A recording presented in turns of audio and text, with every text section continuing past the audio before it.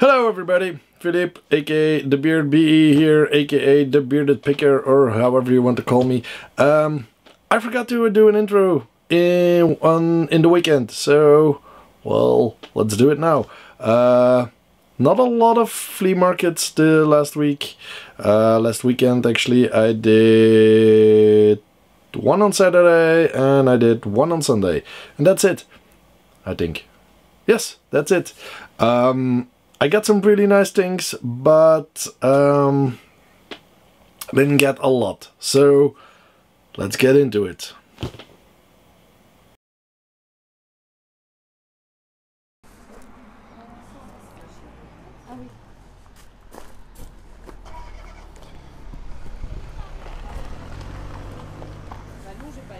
Ah oui, je sais pas. Ah voilà.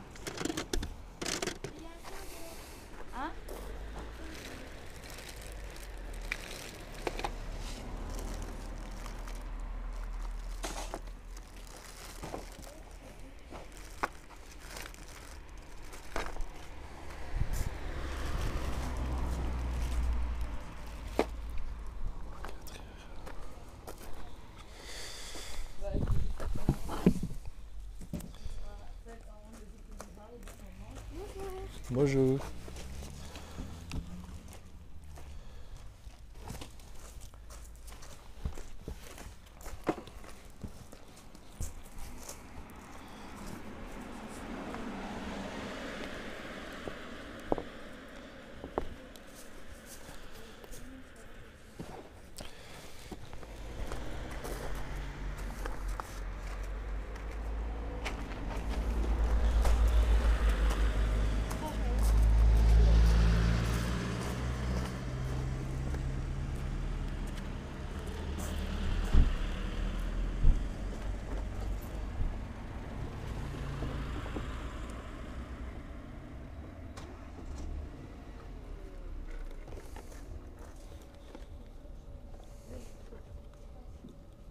Non, laisse.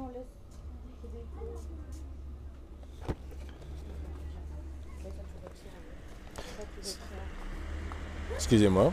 Est-ce que vous savez si ça marche encore? S'il vous plaît? Est-ce que ça marche encore euh, ça? Ah, ça n'a même pas été ouvert. Ah d'accord, d'accord. Ah oui, bah oui, je voyais le... ça n'a même pas été ouvert. D'accord, donc ça doit encore euh, marcher.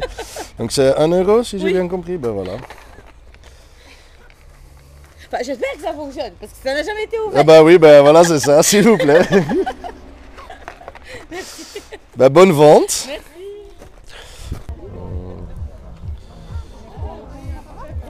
European Union. Nope. Not at 1 euro.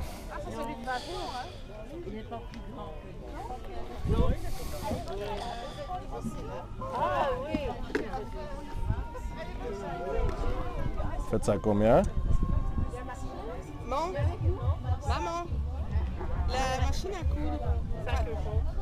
D'accord. Allez, vous donnez combien Ben est-ce qu'elle marche déjà? Ah oui, mais c'est à pile. Hein. C'est à pile, oui. C'est oui. pour enfants. Hein. Oui, oui, oui, oui. Je m'en doutais. Euh, T'as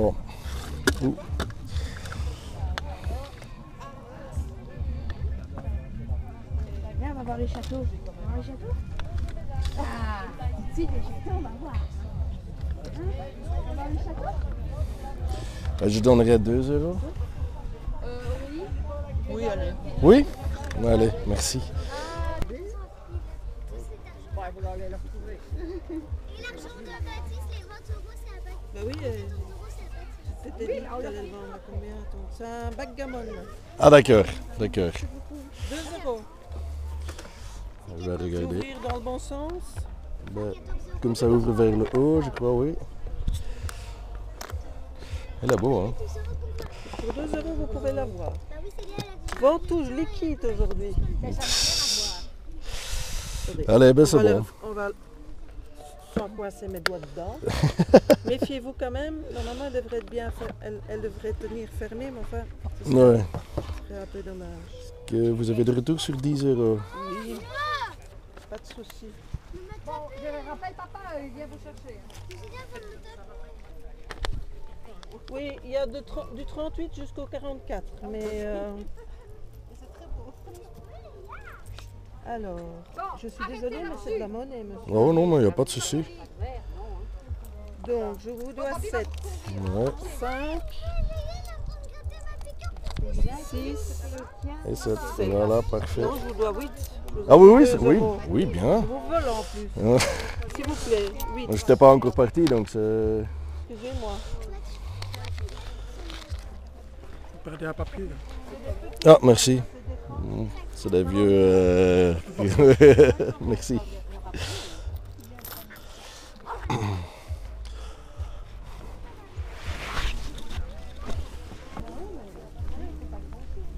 Quelqu'un qui nous écoute quand on a besoin de savoir.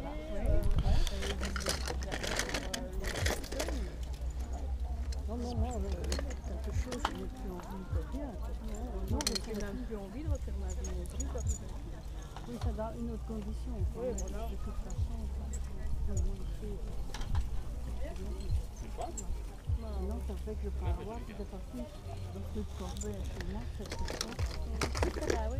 Et ça veut dire que quand on se rencontre là-bas, quand on va là-bas, on seulement on dit Ah, vous venez de loin Parce que je viens de la côte. euh, Ah ouais, il est parti, quoi. Il y a plein de choses. Alors, je dis, Bon, bon, bon, ah, bon, vous venez ici. Le chat, Ah bon Je dis, Bon, ça, c'est bien. Et alors, euh, du loup, après,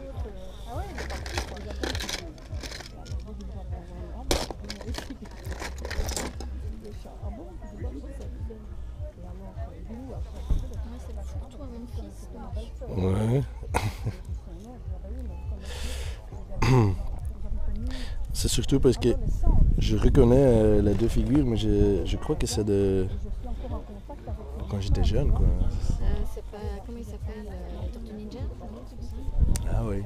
Être ça, ouais. C'est le rat qui me fait dire ça. Oui, c'est ça. Ça doit être ça, ouais.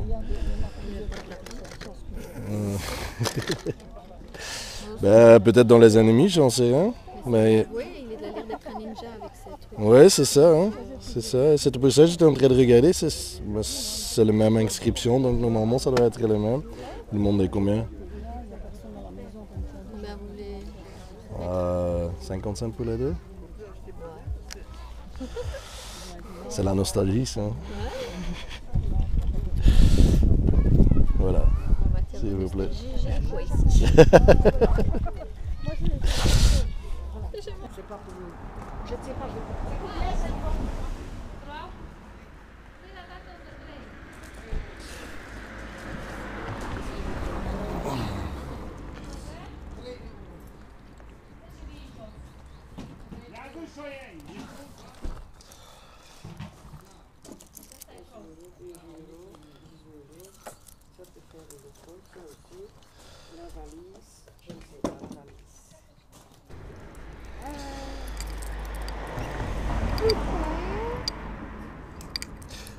Je prends... Oui, il n'y a pas de souci. Si je prends plusieurs horloges, vous me faites un prix pour le lot Là, c'est tout, tout à 1 euro. Ah, tout à 1 euro Oui, n'importe lequel. Ah oui, Un oui, d'accord. Ah d'accord, Un d'accord, euro. d'ac- Mais Il y d'accord. en a beaucoup qui, j'en ai déjà vendu beaucoup, parce qu'il y en a qui achètent pour les bracelets. Ouais, Ils montent et, et ils ont les bracelets. Mais Ouais. c'est tout à 1 euro. ah d'accord, ça va. Ça va Ça va, ça va. Je croyais que c'était juste ici. Non, non, euh, non, non, c'est un tout, d'accord.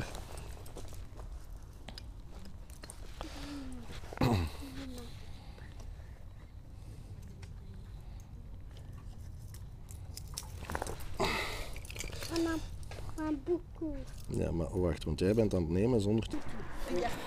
Je vous prendre 10 horloges là. Vais. Attends. Oh, mais j'ai des sachets dans mon sac à dos, ça va. Oui, oui, y a pas de souci. 1 euro. Donc c'est combien pour tous les 10 Eh bien, il y en a 10, ça fait Oui. 10 euros. Bon, ben voilà, d'accord. Euh, voilà ça. Merci, S'il monsieur. vous plaît. C'est bien gentil. Merci. Je ne sais pas. Moi, je- j'oublie tout.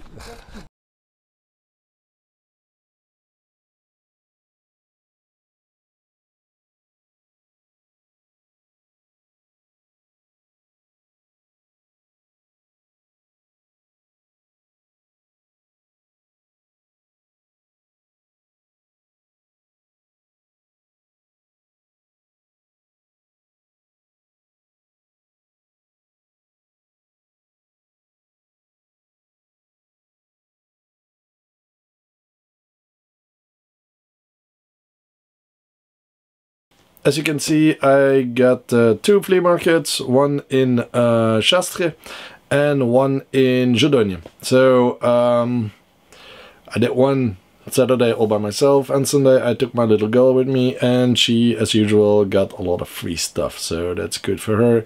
Um, it's small things that I can't sell, but uh, she's happy with it. And it makes uh, it gives her something to do, and she can uh, share it with, the, with her brother and stuff. So it's quite fun for her to go to uh, flea markets also, and it makes that I I'm not alone. And sometimes I even get better deals because she's there. So yeah, cool thing. Um, anyway, what did I get? Uh, well, Saturday actually my first sale was directly a big, big, big, big hit. Um, I was browsing around on one of the stands and uh, it was actually a garage sale in front of the flea market. So some neighbors of the flea market that also did their uh, garage sale and um, I was looking around. I left some uh, plush uh, animals over there, some stuffed animals over there, but uh, that I should have picked up, like the that um, Stitch one. Well, it's not Stitch, it's girlfriend, but I always forget how she's called. So I think it's Angel. Yeah. So Stitch the the angel angel version of Stitch in stuffed animal. I should have picked her up. She's about 25 euros if you uh, put her up on uh, on eBay. So okay, yeah, I missed out. But then when I was about to leave the stand, um, I just saw on a corner of the, of the blanket that I put down, uh, I saw a box that looked really vintage. And so I picked it up, looked at it, it says it said 1998. I was like, hmm. There was a sticker of one euro on it. Something I've never heard of, never seen, never. So I was like, okay, I'll take the risk. I'll I'll spend one euro to get this thing. Um, I asked her, does it work? Well, it's actually never been out of the box. So I verify, and indeed, the original tape, factory steel tape, is still on the box. So I have in my hands a 30 year old box that I mint of a series that I don't know, never seen, but looks quite geeky. So I'm like, okay, here's one euro, thank you very much. And I left as soon as I could. Because, and then I started looking online, couldn't find anything, stuff like that. In the meantime, I have found a lot of information about it. So basically, it is um, Nasta that originally brought out um, the reactors series and they had like nine nine or, or 11 models that uh, are part of that series. Um, the rp1 that i have is one of them. Um, but in europe they came out under the brand of savie not nasta so um, which basically means that the nasta ones are already rare. You can find one uh, offer at the moment for that one and then I have like as far as I could find on the internet there's like two uh, ever been sold on uh, eBay. And so the Nasta one is going for uh, is listed for $60 it has not been uh, purchased yet. There are, no comps for uh, that I can see. And um, so I'm going to list uh, this one at 75 mint in box not never opened 1998. Uh, Actually, I might even do more than 75. I'll still have to figure out, but I will list it for quite a lot of money. If this takes a long time to sell, I don't care because this is a mint in box 1989. Um, that's just awesome. And it's of a very, very, very niche series of toys. Um, so that's, yeah, that was, that was the biggest find of the weekend for sure. Um, then second boot I bought Shrita mugs uh, of Disney. Well, my children wanted uh, both one, so I have only one left, which you saw in the video now. Um, they are vintage. Um, they're from Disneyland, uh, Paris, I think. Uh, so I should get like I bought them for one euro each. Um, I should get like 10, 12 because they're in box. So that, that okay it's not a big um, big sale, but it's okay.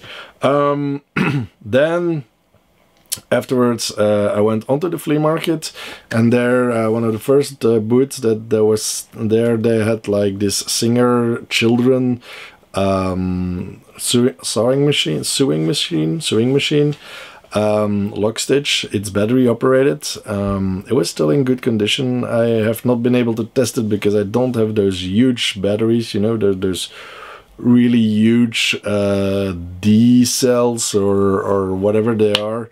They're enormous or C cells even. They're 33 millimeters, so they're en- enormous. I don't have them in stock. Uh, I might get a couple of them, but I'm not sure. Um, also, might just put that thing uh, online, that uh, sewing machine, just like that. It cost me two euros. I probably can sell it for like 20 to 25 euros, so that's okay. Um, a bit further up, I lucked out. Well, no. I got a lot of resistance on buying a box of uh, little figures, so I left it there. Um, then we got that backgammon game. Uh, it just looked nice. I love the game backgammon, so I, I picked it up for two euros. It looks nice. It is complete. There's just one crack in the multiplier uh, uh, dice, but die, but that's not a big problem in my opinion. Uh, started looking around in the booklets and stuff like that. Turns out this uh, game, this backgammon game, is from '74. So 1974, that thing is like eight years older than I am. Yep, I'm an old guy. Uh, no, I'm not. Um, but yeah, so this is definitely antique. It looks well antique slash vintage. It looks nice. Um, it is in remarkable condition. Everything is there except for that little crack in the the multiplier die. This this backgammon game is in, in exceptional condition, and it it was the Lux uh, version from Ravensburger. Uh, I haven't looked it up yet, but in my opinion, that should be around 40 to 50 euros. I'll, I'll quickly look it up actually. Okay, so here we are.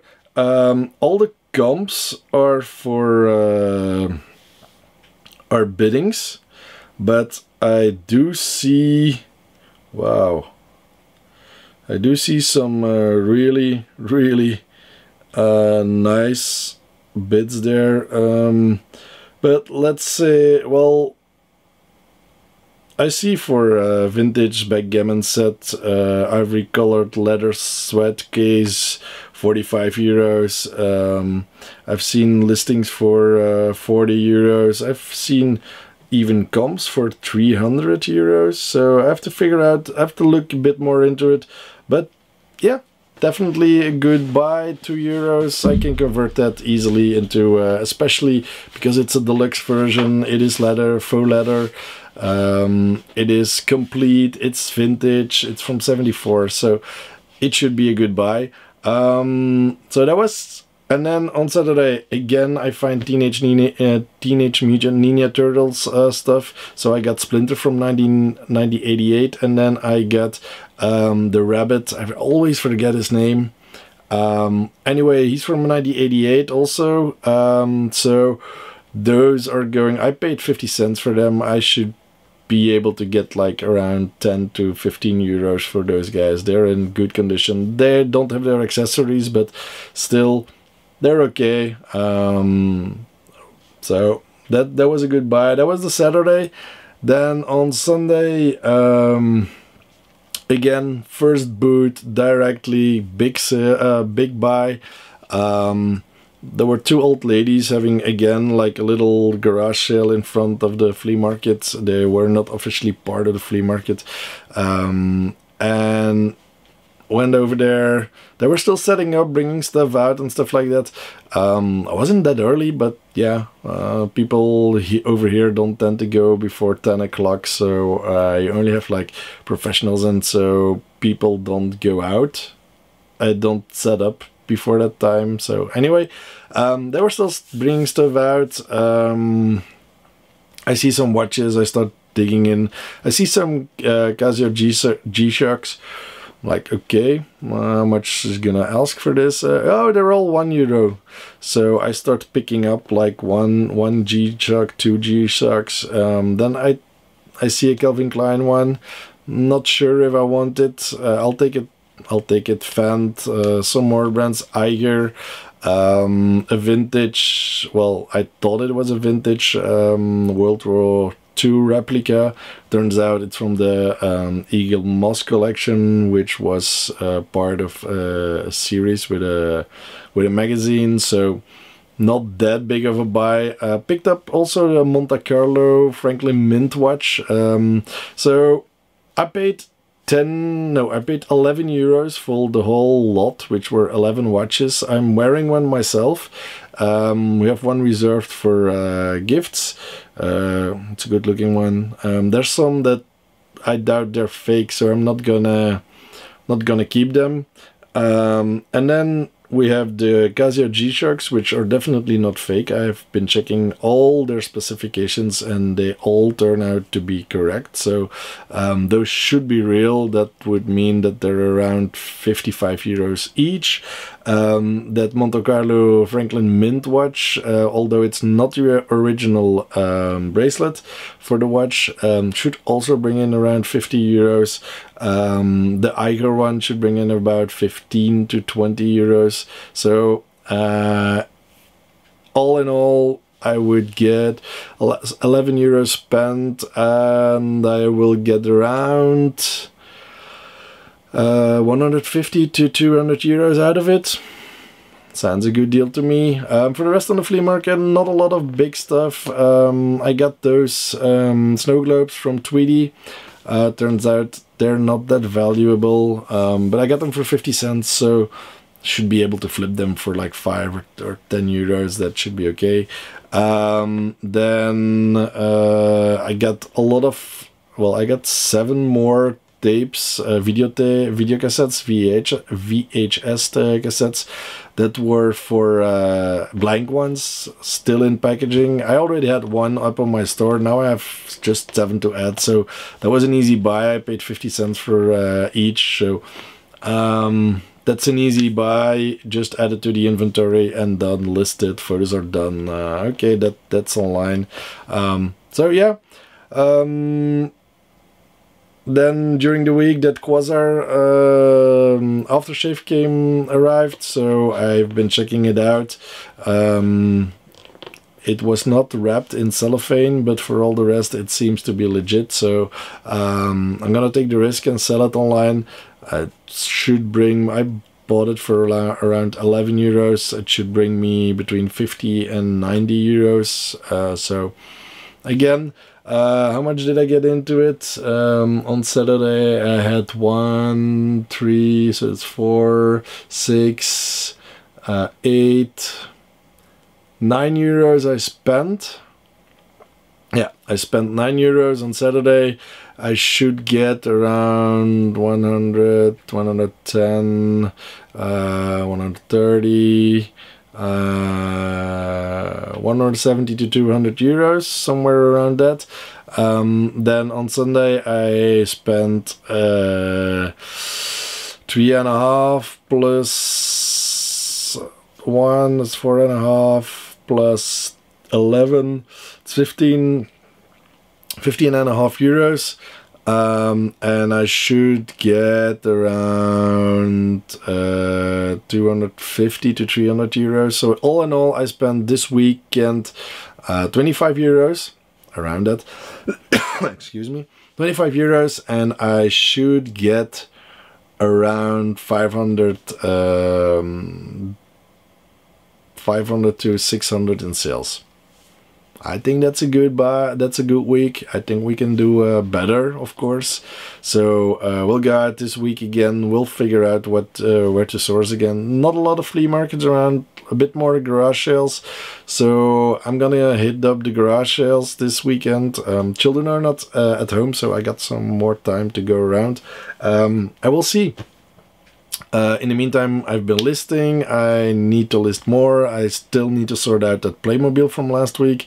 So um, I still got a lot of work to do, but uh, we'll get there. We'll get there. And uh, also, after I'm going to do a thrift review on one of the Casio G-Shocks. So um, stay tuned for that in a couple of days. And see you next week with